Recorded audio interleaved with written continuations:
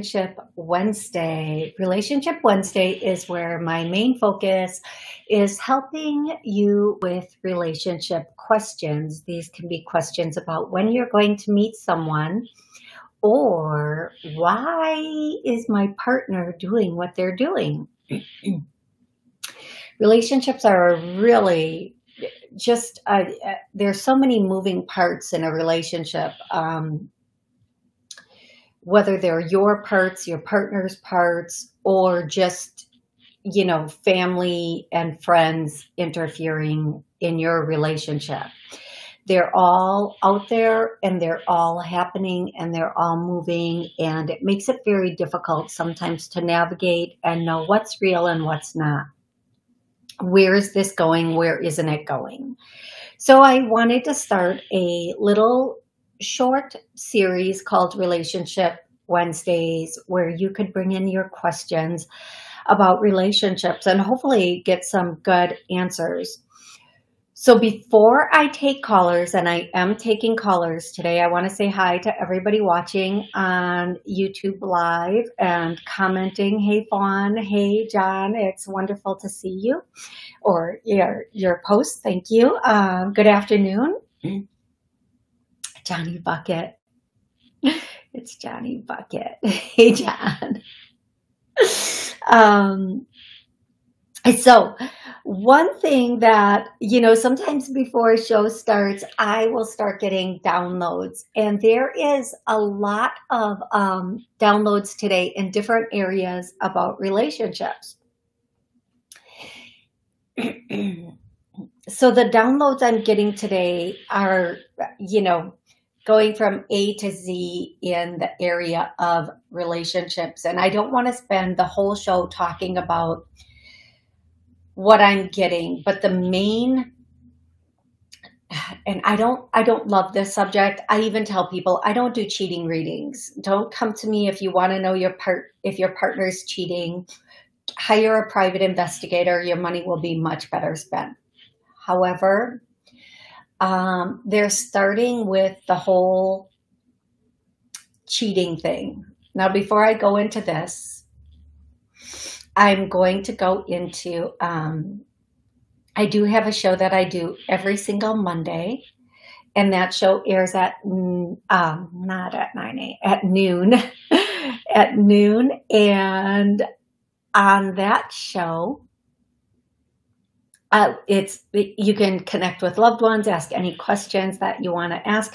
You know what that it's so weird because i can't even focus on what i want to say because somebody really wants to get this cheating message out from the other side. And i i don't like going into this energy. But apparently until i do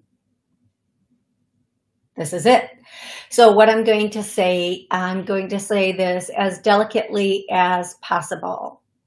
Okay. So you're, if you're in a situation where there, and, and there is no judgment on my part, I don't, whatever you do in your private life is what you do in your private life. If you're in a situation where there are two people that you are trying to decide between, and again, this isn't my personal information, information from above. Let them both go. Just let them both go. Um, and that, and this might be for one specific person or a couple of people listening. If you can't decide between two people, that might mean that neither of them are a good fit for you. I think that when you meet somebody and you want to be with that person, um, nobody else is going to take your attention away from that person. That's my personal belief. I know other people have different beliefs, and if you have a different belief system, God bless you, or whatever bless you. You know, that's your belief system. Um, I just have personally experienced, and from everyone that I have communicated with in my office and in other in my family life and everything when that person comes in, you're really not looking for anybody else. And even if somebody comes and taps you on the shoulder and says, Hey, um, you're not interested because you have what you, you found what you're looking for. So if you're trying to figure out between two people right now, let them both go. And, and again, this might be for one specific person. If this isn't for you, it's not for you. Okay, that's okay if it's not for you. If you have two people and you're happy with two people, do your thing. Put your dangalang wherever you want to put your dangalang. Do your thing, okay? Or your gina, wherever you, whatever you want to let in your gina, let it in. Um, if that's where you're happy. But if you're looking for something more serious and this is the one sort of thing, I'm to say the one is not part of a duo because you wouldn't need the other person unless you have a really big ego and you're feeding your ego instead of your spirit. Um, you wouldn't need two, three, four, five people. Okay, having said that, one, uh, one more thing on cheating. God, I just don't like being in the, I don't even like being in the energy of talking about cheating because it's such a seethy, like, pukey, I need to take a shower afterward thing. I, I cannot stand being in the energy of talking about cheating, talking about any of this stuff. But they want to give one more message for somebody who might be listening, re listening, watching. Cover it up. Jesus. Jesus, Moses, and Mary. Come on now. Um, okay. If you are out there having casual encounters. And again, no judgment. We are who we are. We do what we do. I, hey, get through your night, get through your day, do what you got to do. Um, but if you are doing that, um, understand why you're doing it. This is, again, this might be for one specific person or a couple of people. Um, but I'm getting the energy that there's somebody who's having some casual very casual encounters. They feel like maybe every time that they do this, like, see, they're validating themselves in some way. Or they're, yeah, they're validating themselves. Like they're saying, oh, see, somebody wants me, so I'm whatever. Oh, sweetie, sweetie,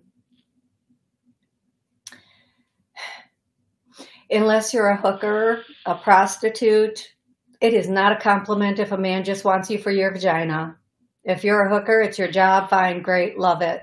Want me for my vagina? That's my job. Pay me. Not me. Not me.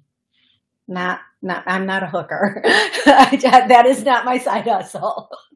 I'm just saying in, in general. oh, fudge sickles.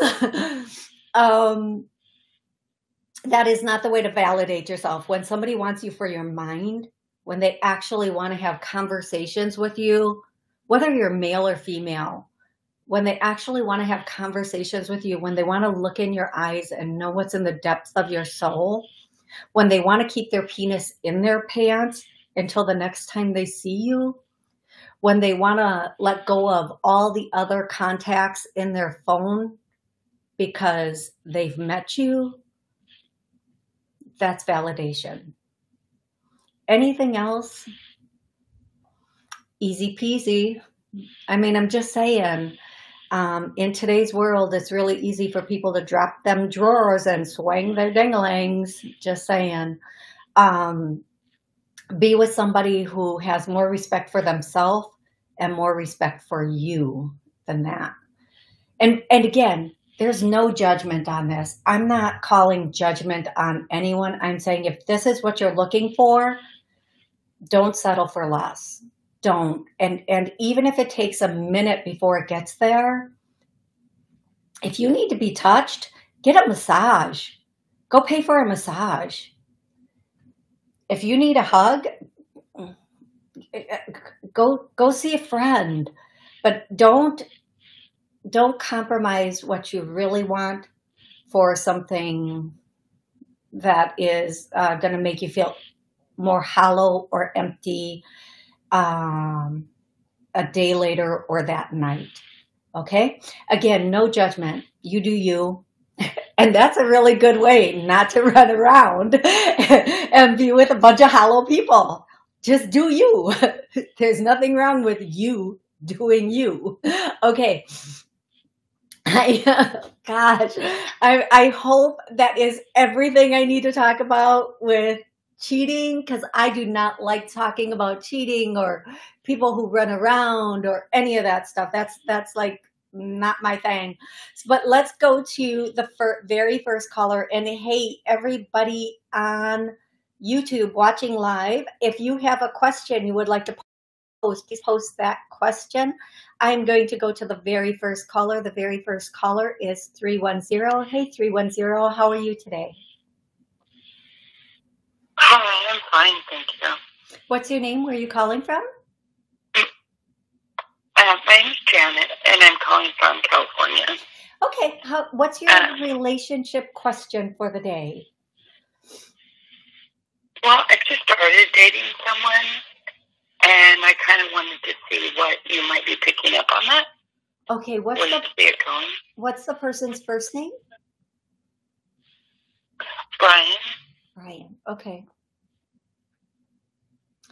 Okay, the first thing I hear is six months. So since you just started dating this person, I feel like that around the six month mark, this has, you're going to know exactly where this is going right around the six month mark. Now that I'm going to tell you three months from now, which puts us in December, January, February, January, wait, we're in December, January, February, March, puts us in March. I think you're going to question this connection. Okay. Don't do the jump, jumping ship thing in March. Um, between now and March, pay very close attention to everything going on in this relationship. And in March, uh, or along the way, don't wait until March. Don't don't have a big list of things that you need to discuss in March. Um, but in March, the two, yeah, okay. I feel like in March, there's going to be a discussion. Okay, between now and March, pay attention to everything going on um, and not necessarily in a way where you're looking for things that can go wrong. However, in a way that allows you to see it clearly. Like, okay, is this something they do all the time? Is this something they that I can handle? But in March, there's going to be a discussion about, I feel like the discussion is almost a next step discussion. This might be a little bit soon for the next step that the person is discussing. So it might be a discussion of like, how do you feel about us living together? Great in a year or great in six months. Um, not right now. Um, I feel like you have to be very aware of what it is that you want from this relationship and you have to be able to state that. Don't be afraid if you say, hey, look, that's a little bit soon for me, or that's a little bit too much right now for me, that this person is going to run. Um, if they're running, then they were just like only looking for uh, maybe that aspect, and and that that's not them. That's not your person. Then, not that there's only one person, but that's not that's not your next person. Um, I do feel like wherever this relationship goes, it's up to you. Okay. Now, here's one thing I want to say to you and all my beautiful women listening. And men, it, the same thing goes for you. Show up as who you want to be at the end of the day in this relationship. Show up as a queen. Show up as that woman. Like, like in the beginning of dating, we don't always show up and show out, if you know what I mean. We kind of sit back and we can be whatever. No, show up strong and don't waver on your lines. I hope that makes sense to you. Like don't don't um concede a little bit because even if we concede in the beginning, they know they can push those lines a little bit. They know they can they they know they have room person is you need to show up and stay showed shown up show, how uh, showed up shown up. You need to show up and stay there. So one thing that i know about successful relationships and women who have very successful good men they don't concede. They don't go oh well okay. They're like uh-uh that's not gonna work. No. And they they and and the one thing i know about men who are successful and want successful relationships, they show up and they're trying to invest in the woman. They're trying to um, impress that woman. And that should not stop just because a certain amount of time has gone by. If they are looking at you long term, future, wifey up, live together up material, they're not going to stop that. Now, that doesn't mean show up and buying presents and trying to buy love. There's a lot of different ways that, that men can show up and impress women and invest in them. Time is, is huge. Mm-hmm. Investing time is huge. Um, so I always say if a man respects you as much as he'll respect his mother, he's a good man and he has honorable intentions. If he's treating you the way he would want a man to treat his mother, he he's serious about you.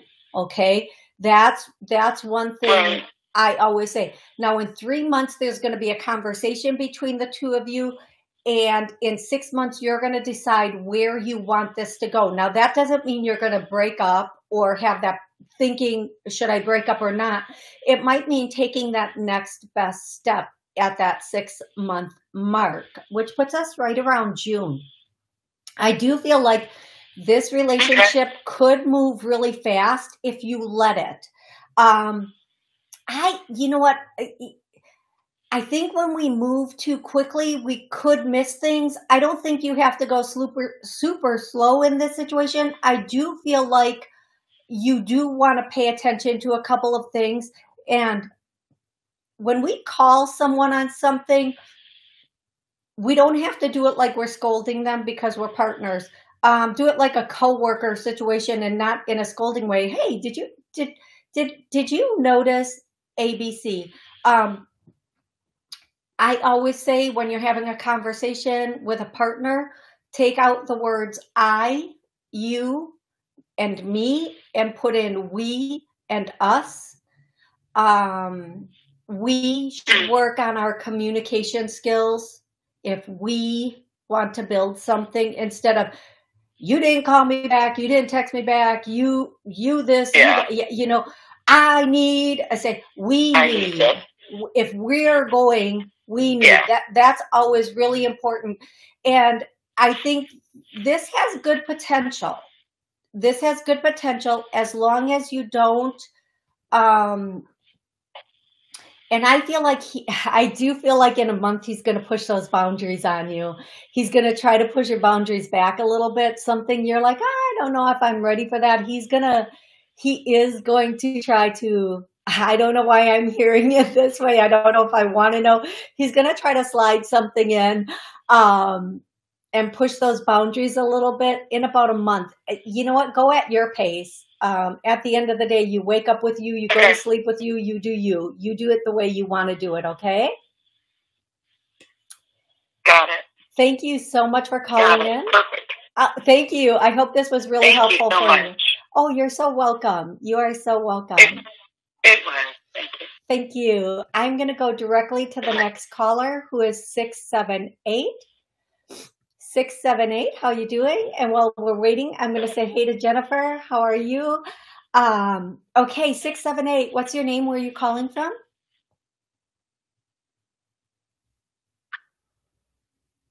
Hello 67 hello?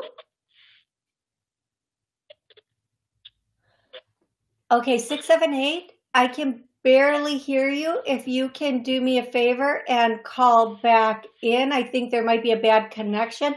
I'm going to go to 519. Hey, 519, how are you today? Good, Toni. How are you doing? Excellent. Thank you so much for calling in. How can I help you? Well, it's more about my relationship with my mother than it is a romantic relationship. You know, the daughter mother relationship. Yeah, that can be difficult, right? So, Yeah. how can I help with that today? What's Um, your just question? one like I had two weeks with her, and it seemed to go okay. I haven't, you know, go years without seeing her sometimes, but she kept looking at me like it was like she kept looking at me for some reason, but I don't respond so well to looks because I don't tend to look beneath that sort of thing. It's you know. If you want something, use your words. But do you feel like it was forgiveness she's looking for? I'm sorry, I'm not laughing at you. I'm not laughing I get at you. Um, so, okay, so what I'm going to say to you, I don't, I, it, uh, I, let me take a moment. Um, what's your mom's first name, love? Leslie. Okay. Uh, the feeling I get is she, I think a couple of things are coming into my mind. Um, a little bit of admiration. She might have been looking at you with a little bit of admiration, um, looking at your life in comparison to her life, and not in that jealous way, but in that way of, um, wow, if she could have done it this way, wow, if she had the advantages that you have.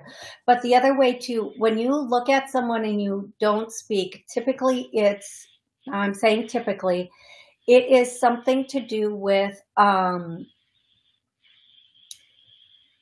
uh, either there is there's something you want to say that you can't say because you're not sure how it will be received, or again, um, just this look of admiration or love that was coming through. And I get the the admiration and love a lot more than this being afraid to speak sort of thing. I think sometimes um, I have a sister that is when she speaks, she speaks in a way that is a little more black and white, cut and dry. Um, so I, I've had to learn that when I'm listening to her, I she's very she's a very literal person, and um, it doesn't take a lot of time to fluff up her words or try to say it in a way that would be more compassionate at all. um, but I think sometimes that like I won't say things to her just because I know her response will be a little bit shorter if if I can. Um, I think with your mom, the way your mom communicates and the way you communicate might be the opposite way. And I think in your mom's time here, she is starting to understand things differently, which is, you know, we learn, we grow, we grow, we learn. Um, and I think she was looking at you with admiration, but again, there is this part of you that can be a little bit um, uh, not as soft when you communicate, not as delicate when you communicate. And so, if she did want to start that type of conversation with you, she might not know how well it would be received or where that conversation would go. Um, and I, you know, my mom passed in February, and we didn't always have the strongest relationship. Um, it uh, like if I would say I love you to my mom, she would just look at me and not respond. And not surprising, I ended up with a boyfriend like that, but you know, we're healing, so we meet people that help us heal. yeah. But um I Mhm. think that she, uh, in my mom's case, I think she was afraid to respond because it- had been like a while since she had expressed those feelings, or, you know, maybe it's just because she was a Scorpio. I don't know. I'm not going to try to guess. What I do Mhm. wish is, regardless of how she responded at this point in the game, her being gone since February, I do wish I would have um, not worried so much about that and spent a lot more time with her and taking care of her. Um, and not worrying about my feelings in the situation, not worrying about what that meant for me or whatever it was. In any case, for you and your mom, the message that I'm getting, and it's it's a tough message in a way. Let your guard down and um, treat her like your daughter. Because when you take the title mother and all the expectation that you had of her being a mother, and you turn her title into daughter, you can perceive her in a completely different way, in a childlike way, understand everything she's gone through, all the damage, all the pain. Um, and you have a little bit more compassion and you want to nurture her more in that way. So take the title of mother off of her and put the title of daughter on her and allow yourself to be vulnerable with her because when we're at this point in the game and the age that we're at, let's face it, even if you're 20, depending on the age of your parents, uh, and I do have a client that is in her early 20s that lost her father, and it's it's devastating when you're younger because emotionally you don't always know how to cope with that. But when we're when we're at the age we are and we lose our parents, um, it can be devastating. So if you take the time to have, you know, kind of role re- role reverse with her and you don't have to tell her, please don't tell her you're thinking of her as your daughter so you can be more compassionate to her. But please don't do that. Yeah. it will not be well yeah. received at all.